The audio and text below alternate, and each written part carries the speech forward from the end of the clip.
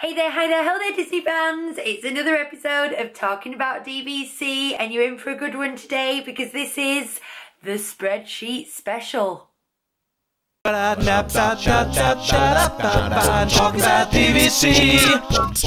I've recorded a few of these DVC videos now and I just feel like every single episode sort of ends up in this number soup situation where I'm just verbally shouting out figures and, and they mean nothing. They're not arbitrary figures, they're really important because if you want to decide what your home resort is, you want to decide whether to do resale versus direct, or you want to, you just want to know if it's worth it, then you really need to know your basic point value. But, and I don't know about you, I just I take on information a lot better when it's given to me visually and I'm really aware as I start just going numbers, numbers, numbers, numbers, numbers that things are just going to fly around and they're not going to make any sense whatsoever. So what I decided to do was to share with you um, the spreadsheet that I made for myself when I was shopping for resale contracts because it helps me to work out and know exactly what my basic point value is and what my current point value is. And that is really important because DVC hotel rooms are uh, booked using points. So, for example, a Saturday night at the Polynesian in May would cost you 22 points. Fine. How much is that? Am I saving money? How does that compare to the cash price?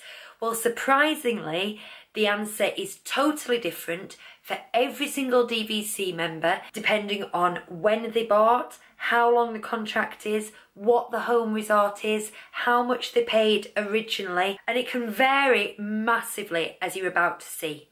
So you're going to walk through with me as I analyse a handful of contracts and just do my normal calculations to work out what the basic point value is of different contracts and we shall see which, if any, come out as being the winner at the end.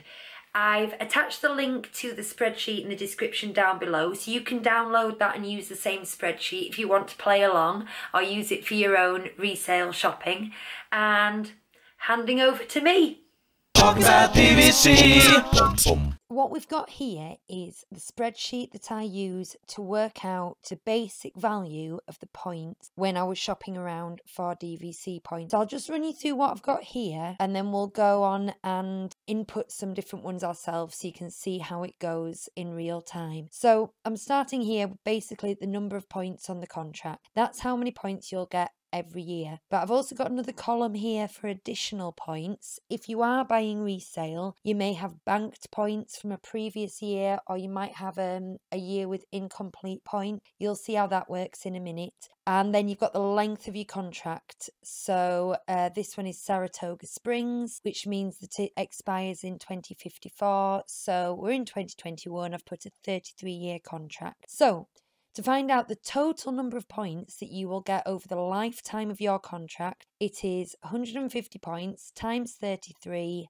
and then you can add your 34 as a little bonus to give you the total amount that you'll get. Then we've got the price per point, which is $100, and then closing costs. These will be listed on most websites, but be very careful that you remember you've got to take into account your lender's fees, credit card fees, anything else that if you're not paying cash up front. So you've got your additional closing costs, and that gives you the total cost for the contract. And then if you divide the total cost by the total number of points, that gives you the basic value per point.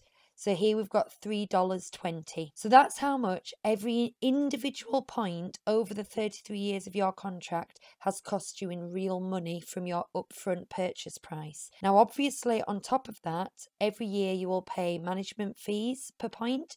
So you've got $7.11 for Saratoga Springs management fees, and that added to that gives you the 2021 cost of your points is $10.32. Now, the reason I say the 2021, the current value, is because the management fees will go up every year. This will stay the same for the next 33 years. You will still just have paid $3.20.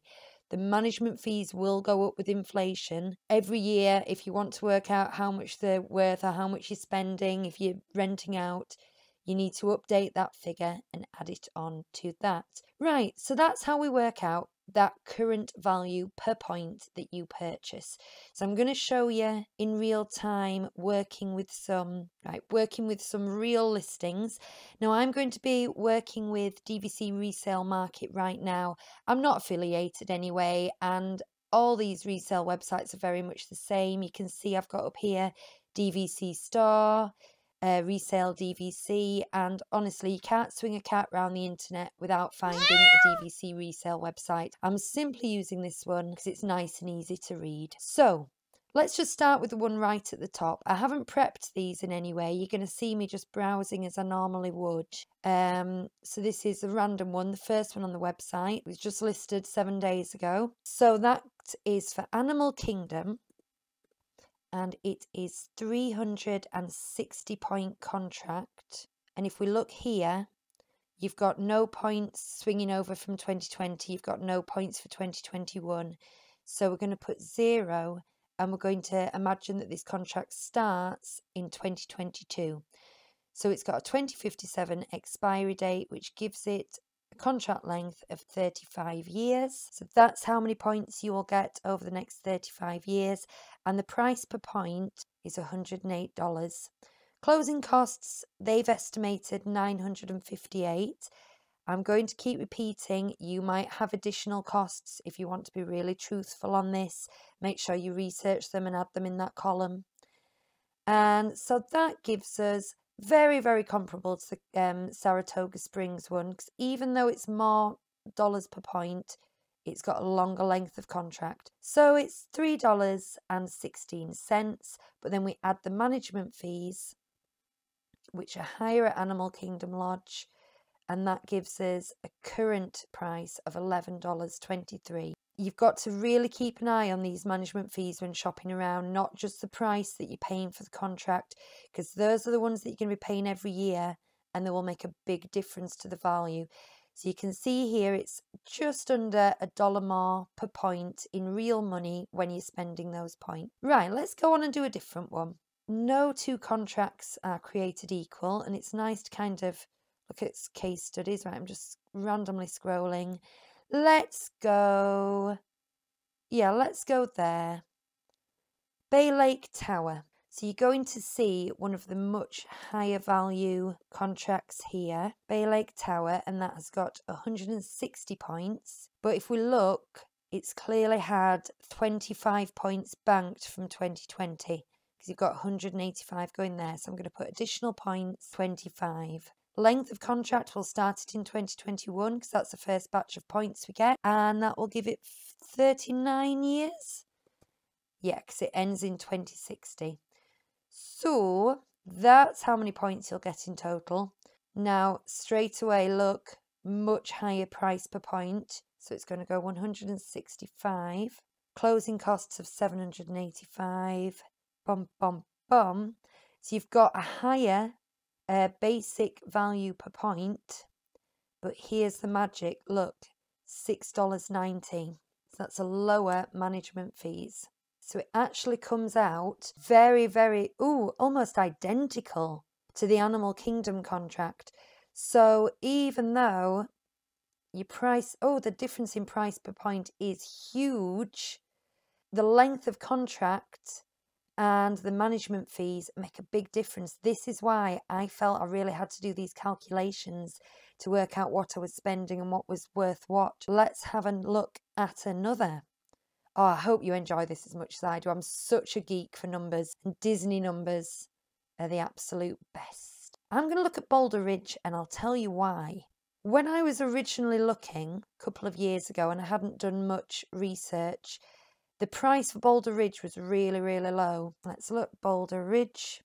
When I was looking, it was closer to $100 per point for like 150 to $200, which is why I've chosen this one here.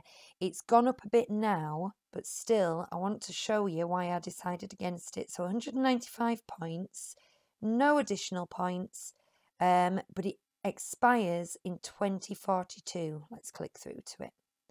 Yeah, it expires in 2042. It's one of the oldest resorts. So that means that it's got just 21 years on that contract. Um, the price per point has gone up since I was looking, but still quite low, 115. Closing costs are 725. So that brings, look, that has already got the highest basic value by a country mile, including something like Bay Lake Tower, which is highly desirable and got high price per point. But you add the management fees, the highest we've looked at so far, and there, look at that, more than three and a half dollars more than Saratoga Springs. So I was nearly seduced by this low price per point and the fact that I just love Wilderness Lodge, like with my heart and soul.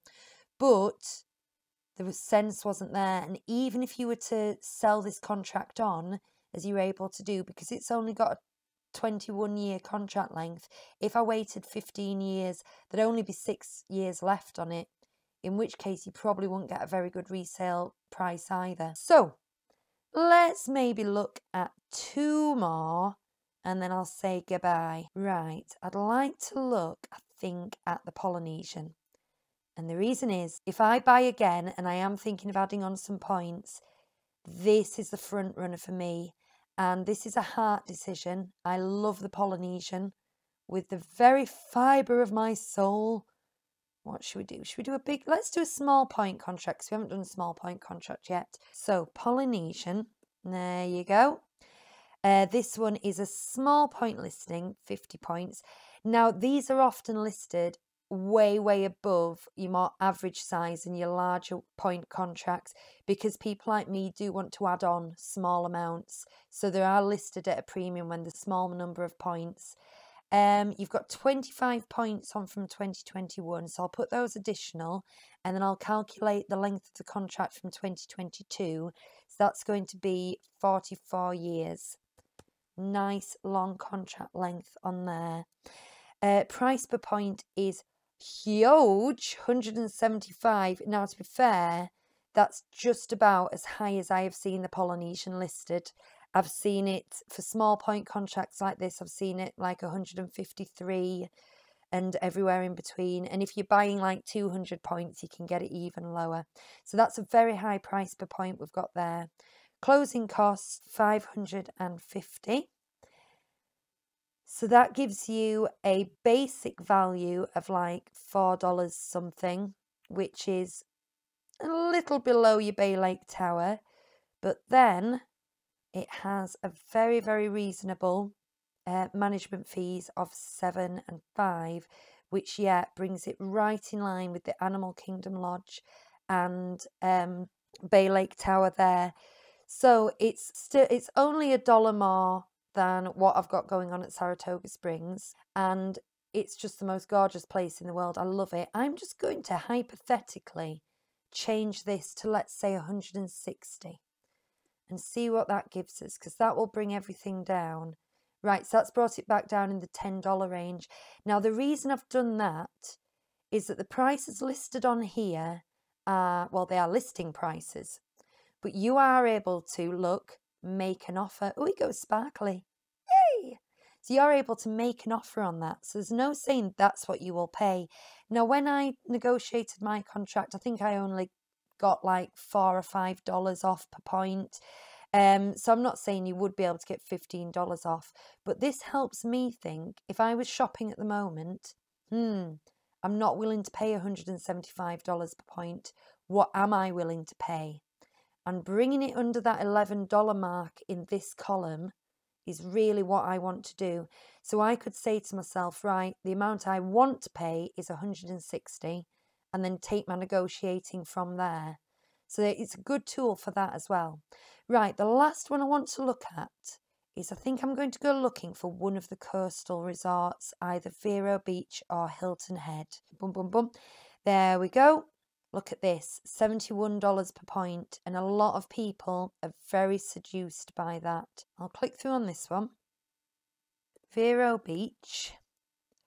We're going to go for 210, so that's quite an average size contract. uh, additional points. Look, with five points down, which must have been borrowed in 2020. So I'm going to put that entire year 205 as additional points and then I won't calculate the start date to 2022 so it just gets 20 years. Now look, you will see this here, buyer pays the annual dues. Yeah, don't worry about that because in my calculations we put the we put the management fees on the end. If you are paying them, you just look in this column and that's how much you're paying. Sometimes you might not pay them and it might be an incentive saying the seller has paid the dues, in which case you can calculate those just on the basic value.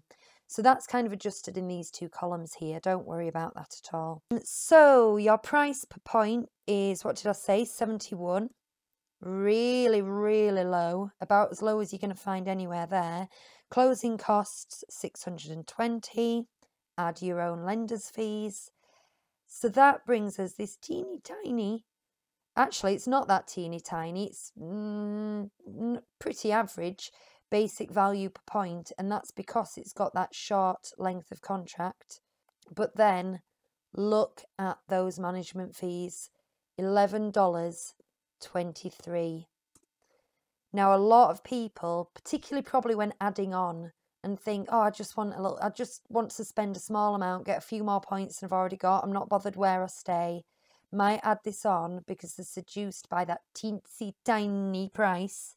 But in reality, every year you're going to be paying those on each point. Look, that is the highest by a country mile. So this is why you've got to do these calculations because this column tells you absolutely nothing. That price per point that you're looking at when you shop tells you absolutely nothing about this column.